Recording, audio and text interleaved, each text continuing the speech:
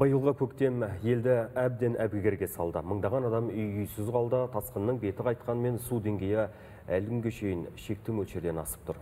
Я былтыр ғана тартылып қалды деп жар салып жатқан жайықтың жайы осындай. Басқа да өзен көлдердің қалай тасығанын көзіміз көрді.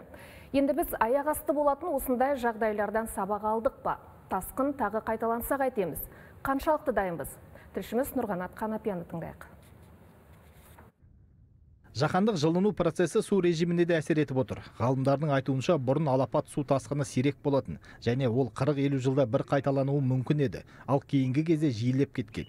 жалпы енді бұл су басу бұрын бізде мысалға бер- белгілі бір уақыттарда жаңағы циклмен жүретін болса кейінгі жылдар кішкене бұзылды бұл цикл бұл қазір жиірек болып жатыр енді оның басты себебі енді осы климат өзгерістері. Бұрын осы су тасу уақыты бір екі айға дейін созылып асықпай өтетін болса қазір қысқа уақыт аралығында және үлкен су көлемі сол уақытта өтіп кетіп жатыр де су басу алабы жаңа кең болып тұр.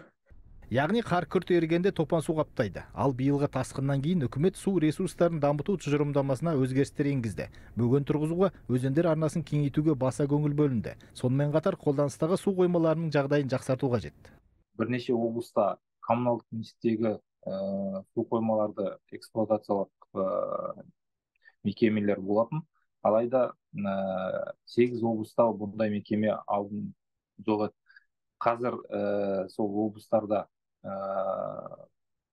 сондай ұйымдар құру бойынша жұмыстар жүргізілуде бүгінгі келіп түскен бізге ақпаратқа сәйкес ақтөбе облысында ә, сол коммуналдық меншіктегі су қоймаларды эксплуатациялау бойынша арнайы ұйым уже құрылды.